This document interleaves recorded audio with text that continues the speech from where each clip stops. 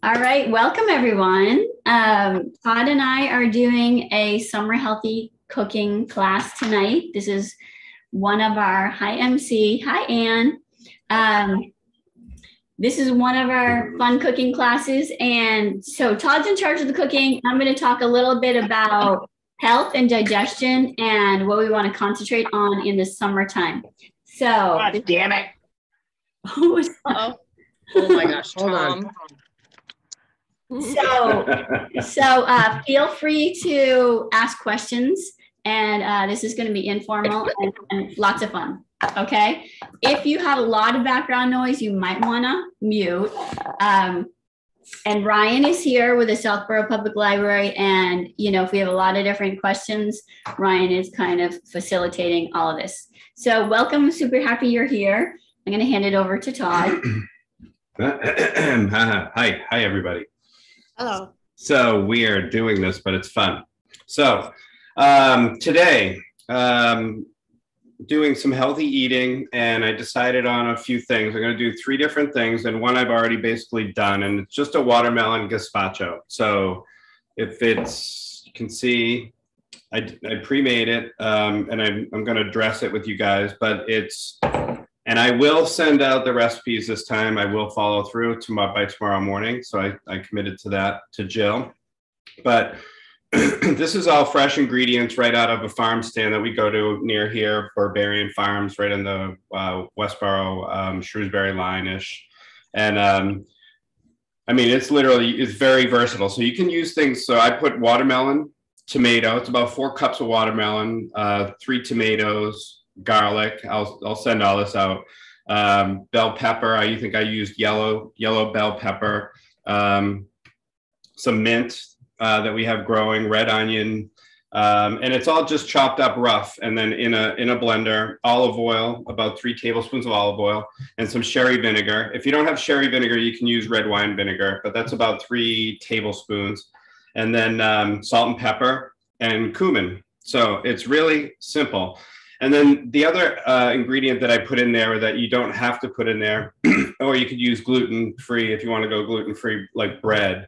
So the Spanish version, typically with gazpacho, adds bread into the gazpacho, and what you do is hollow it, hollow out a like one piece of bread, a thick piece of any type of bread you might have, a couple days old or whatever, and then soak it just in water, and then throw it in the blender and then that adds a little body to it and it doesn't taste bready so it adds a little body to the actual uh, gazpacho. So um, i did a little bit of bread in here and then all i do is um, anything that you put in there and you can put other melon in there or not like you could add um, uh, any any of the melons you could have or stuff you have just left over to add in.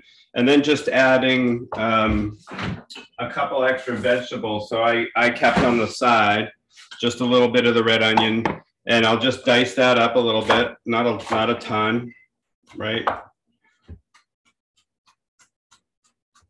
And add it, and you can add anything on top of this. So it's you know I'll I'll do usually a little of this. I um I bought some bread at Wegmans, believe it or not, which I have a love hate relationship with Wegmans. I don't know why, but it's uh, whatever. It's overwhelming to me anyway, it's uh, so I bought this bread. It's just a rosemary sourdough that I made croutons out of that you can toss a few in. And then um, some olive oil. I have a basil infused olive oil, or you can you can just use um, like I put basil and mint in inside, but you can use uh, in this case I have a basil olive oil that I'll just drizzle a little on. And then I've got this Maldon salt that I got, which is a very different. I'll show you the package. Um, it's Maldon salt, so it's a bigger crystal. It's softer, bigger crystals, and they're really like a clean, clean finish of salt. So you can just put that on, or you save some of the, you know, the peppers that you might have had that I put in there. Like I would just dice that up and throw a little on, whatever you want, right? And a mint leaf or two, um, and you're good to go, right? It's pretty simple, easy, and you can refrigerate it, make it up to like two, three days, and uh, just serve it cold. So, and you can put feta cheese, whatever. So pretty versatile, easy. You can also chop avocado as well and put that on top or slice it and a lime wedge. So anyway. All right. So I wanted to talk to you a little bit about hydration because in the summertime, um, we want to focus on getting enough hydration. And so, you know, I, I highly recommend in the morning people use a metal tongue scraper, scrape their tongue, and it's first thing you do in the morning. Our body wants to eliminate, and when when it eliminates, then we can hydrate with room temperature or warm water. Um, we don't want to do freezing cold ice water because that's going to go right through you. Um, I want you to think of your GI tract as kind of like a like a leather belt, and if you this you know this is like a GI tract of someone who's 50, 60.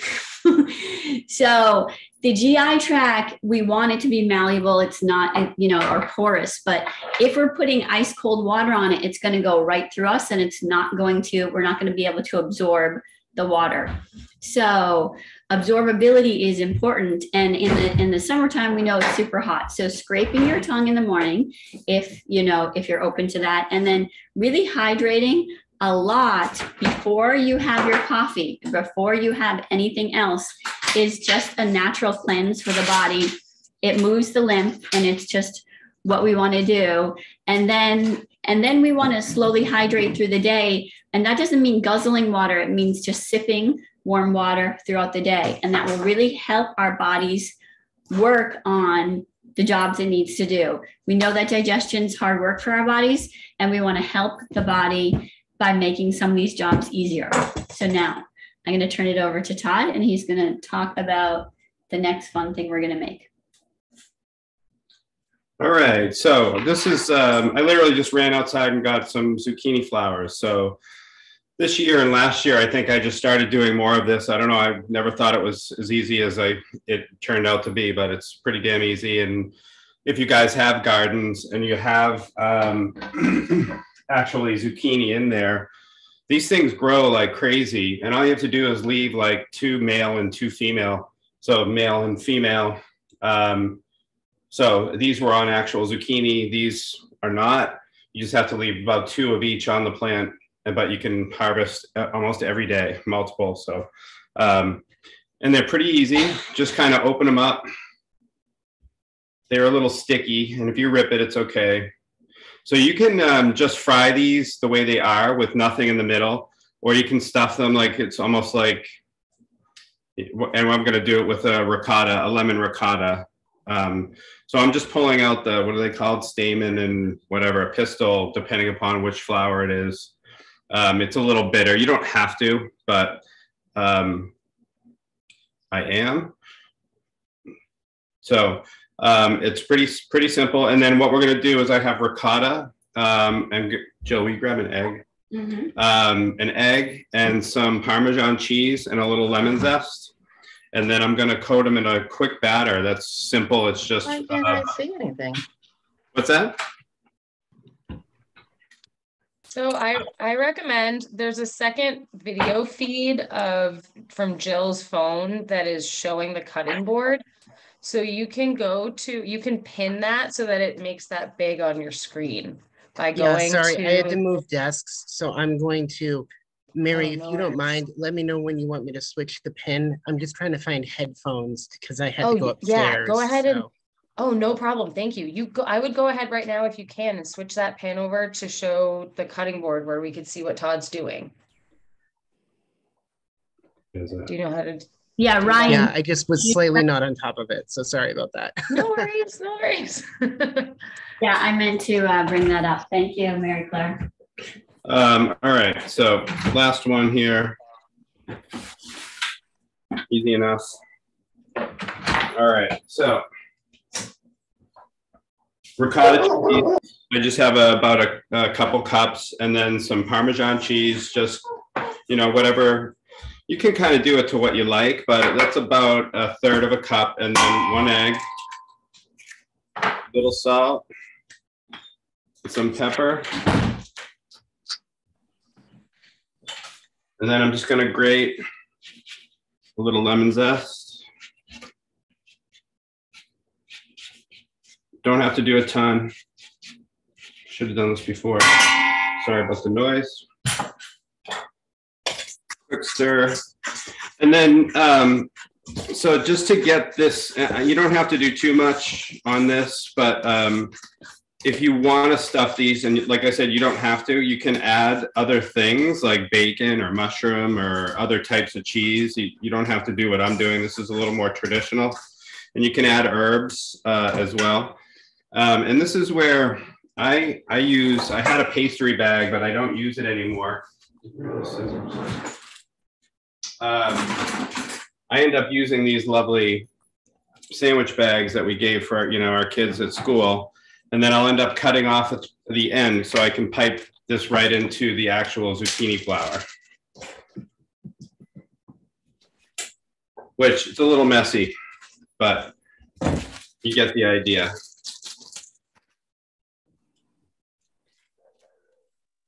Anyone have any questions right now? Not yet. All right. So will you seal that? Yeah. It's messy. And to the batter, I put a little bit of um, here. Okay, so I have about um, I cut this in half because I only have about five or six uh, flowers. So about a three quarters of a cup of flour. I already put some salt in there and then about six to eight ounces of club soda, or you can use a lager beer, um, typically. And you don't want to over overbeat this or anything because it'll it'll flatten out a little bit. So you want to kind of be kind of smooth with it and just do it to the consistency. Uh, you don't want to go too thin because it'll run right off, or too thick. It you know it'll be too cakey. So a little bit of lumps are okay but the club soda helps to lighten up the actual, or the beer helps lighten up the batter a little bit. So, about it. All right. So I've got a little bit of oil, about, I don't know, not even a quarter of an inch of oil sitting there um, in the pan that's heating up. So we'll have that extra hot. And this will happen quick. This is only two minutes that this will happen. So I just cut off the end. Now it becomes a piping bag, right? And just get a little bit. You don't want to overfill these so they're bulging. You just want enough to coat. And then the flour is actually sticky and it helps to kind of coat it again. So I'll do that quick for these. Ryan, do you have a preference, stuffed or not? Because I'm delivering these to you. Maybe you too, Anne. Sign me up. Whatever you make will be delicious. Hopefully. So not too bad, pretty simple. And I'll leave a couple, I'll leave these two just the way they are. So you want to get the, the oil pretty hot. And then all I'm going to do is toss these in. Give them a quick dredge. Shake off any excess and then just get them into the pan. So should be a little hotter. I don't know if you guys can see the pan yet. We'll have to shift it for you. And these are only about three minutes or so total. And you want to have some good spacing on this because if, uh, like anything, if you overcrowd the pan, it's going to um, not brown up as much as you want it to. Can you switch this so they can see it?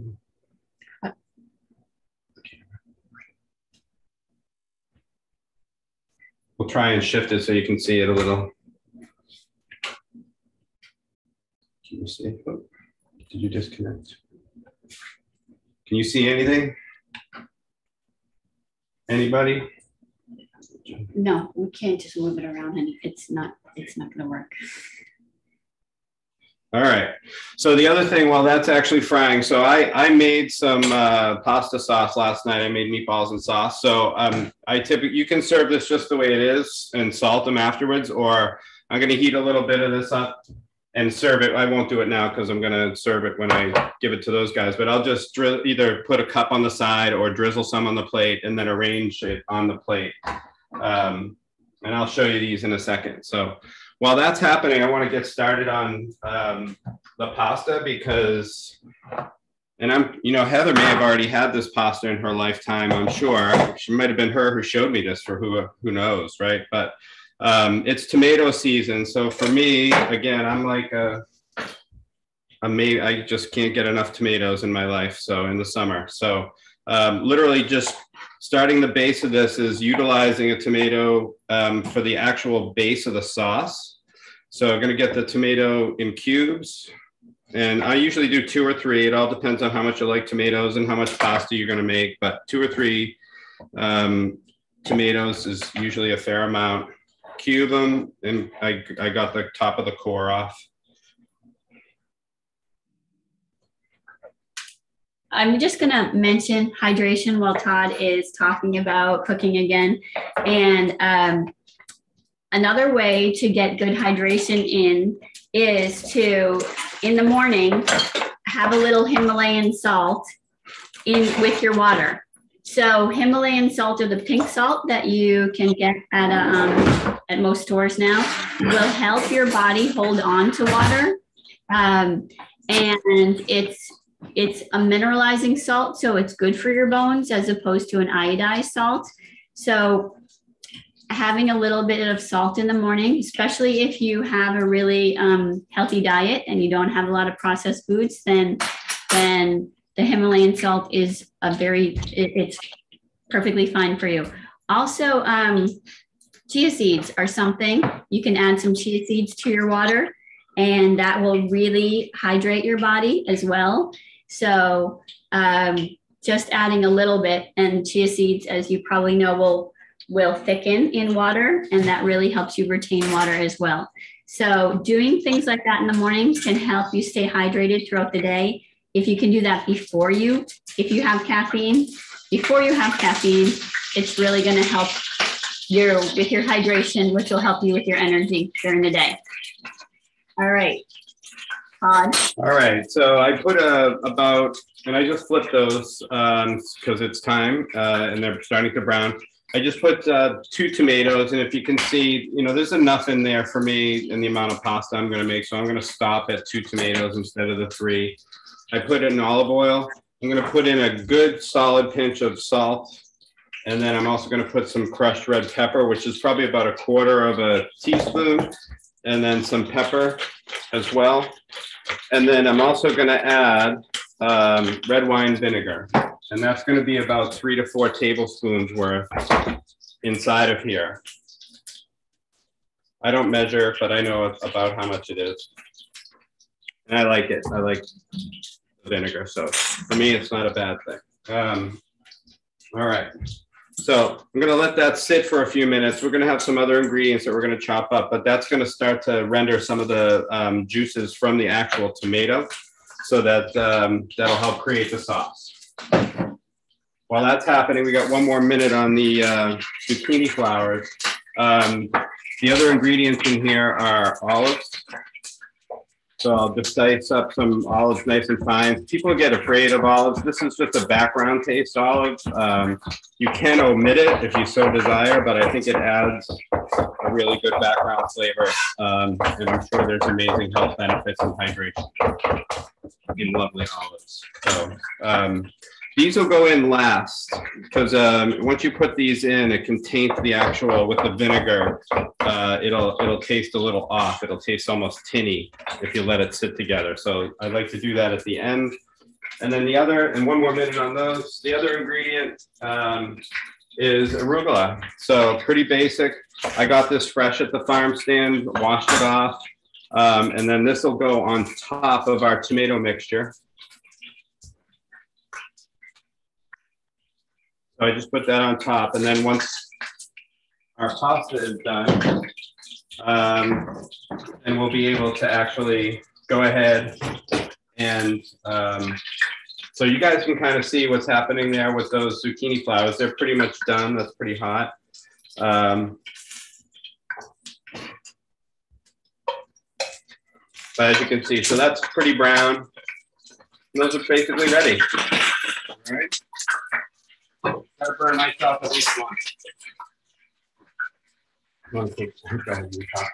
All right, so what we're today what we're doing is having a lot of um, foods that are in season, and that's really what we want to think about when we're eating every season.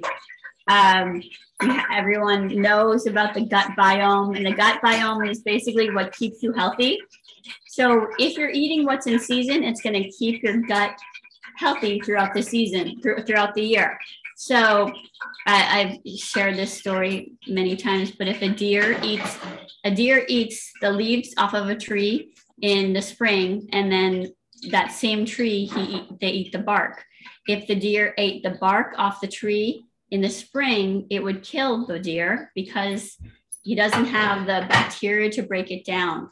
So we really want to eat what's in season. It helps our digestion improve. It helps our our gut health, which will help with our weight, with our help with our sleep, our stress, all the things. So everything that we're eating today is in season, and um, it'll help your gut.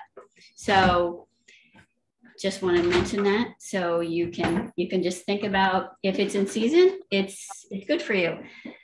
Todd? All right so i am a little behind on the pasta bottle the i don't know what happened with our water boiling. Um, so i'm not going to sit here and wait for it. Um, while i'm waiting for that there was one other um, thing that i was going to show you which is a quick dessert.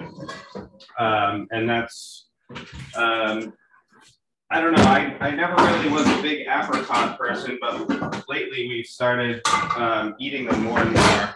Um, so these basic fresh apricots, and I'm only going to do a few.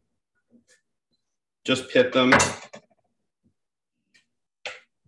How much time do we have? 10 minutes, half hour. And this is simple ingredients, um, and you can use um, mint is what I'm going to use, honey, oil, butter. You can add uh, brown sugar. You can add uh, vanilla to these as well. Um, but it really is a simple dessert that you can either serve with um, yogurt, cheese, or ice cream uh, believe it or not. So it's it's one of those most simple desserts ever, uh, and very healthy. So um, I think we're going to be. Oh, let me show you guys the final product. I didn't actually show you um, while we're waiting for some this to heat up. So that's actually the final product of what those look like. Um, so I'll be passing those out, but those are, um, you know, pretty basic. You saw how quick that was. If you do have access to them, uh, they're delicious. And I just added a little salt at the end while they were hot. So right now I'm just heating up a pan for these apricots and I'm going to put in some, some olive oil. About, you know, two or three tablespoons. Um, oh, one thing I didn't tell you guys too also that I, I did was um, I smashed up some pistachios, and you can also use almonds as well, those sliced almonds to put on the gazpacho. I should have said that before, but that's always a nice textural element to add. As long as you have people who are okay with having nuts, of course. All right, so we've got the oil just about down. I'll show it to you in a second.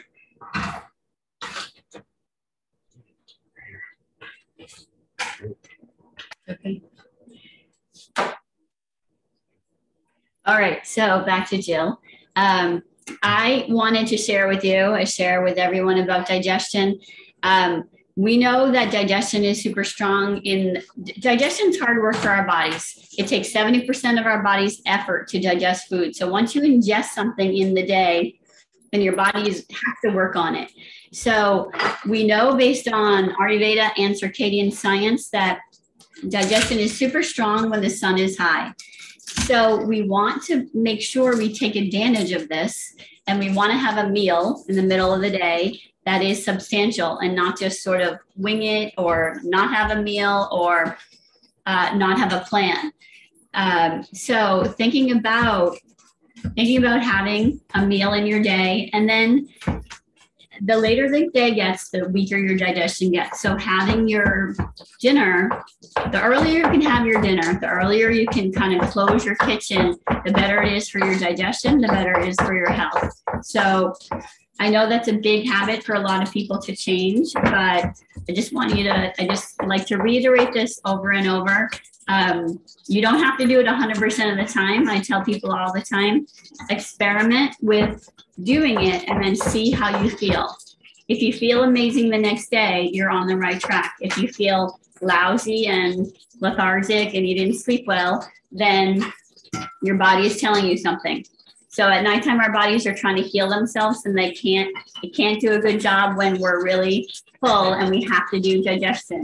So just wanted to have you think about having, having something in the middle of the day and, um, and, and having it be more of a substantial meal. All right.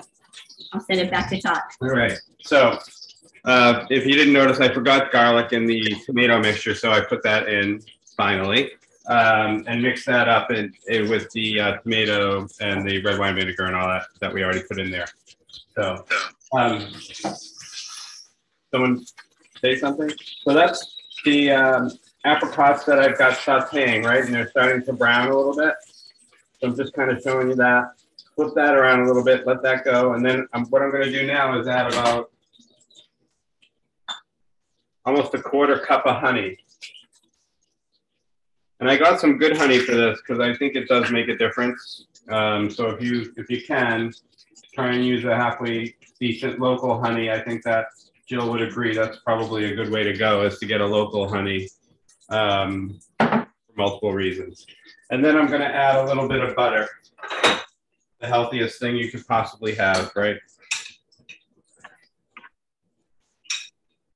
You don't have to have the butter.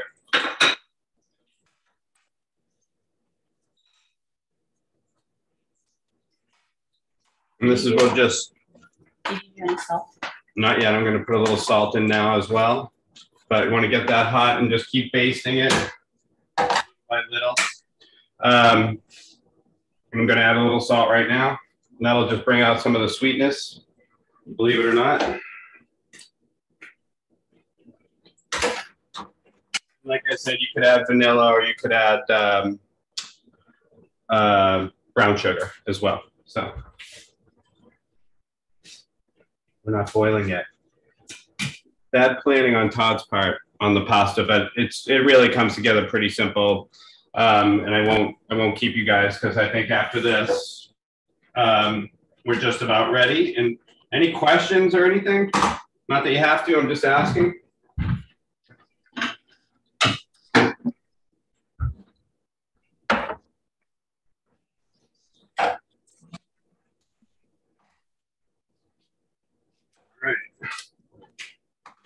So I'm not going to actually be able to do the pasta. I mean, the pasta will be another 10 minutes or 15 minutes. So I'm not going to actually go through it, but it's, it's literally add the pasta, add this lovely um, olive and then feta cheese and then mix it up and it's ready to go. Salt and pepper. So I won't, uh, I don't want to keep you guys just watching me boil water because um, it doesn't really make sense. So that's what the apricots look like, pretty simple. And then just adding some, um, I didn't get ice cream because we're not going to end up eating these because we got to eat dinner first. Well, I do. Um, but just adding a little mint to this. And that's it. Believe it or not, just some ice cream and maybe a little sugar or even whipped cream or mascarpone cheese would be a, um, a great, what's that? Nuts. Yeah, you could add the nuts that, you know, pistachio or almonds as well. So, um, that's it. Hey, Todd, Yeah, um, are the skins on the apricots? I forgot what you did. they are. Yep. I just literally pitted them and then quartered them and that was it. Yeah, I leave them right on there. Delicious. They can be. so, um, well, that's it. So thank so you. do you guys um do you guys have any questions at all or or are you good? That's it. So thank you. Okay, so um Sorry about that. we are we are happy to uh have you guys here and and um Thanks for coming. This was so great. Uh, Yeah. Jill and the messy chef Todd. Thank you. Thank you. Sorry about the pasta. You guys are going to eat well tonight. That's good. We're gonna drop some off. Excellent. All right. All right. Bye. Bye. Thank you. Thank you. See you all. Bye. Hi. Thank you. Hi, Heather.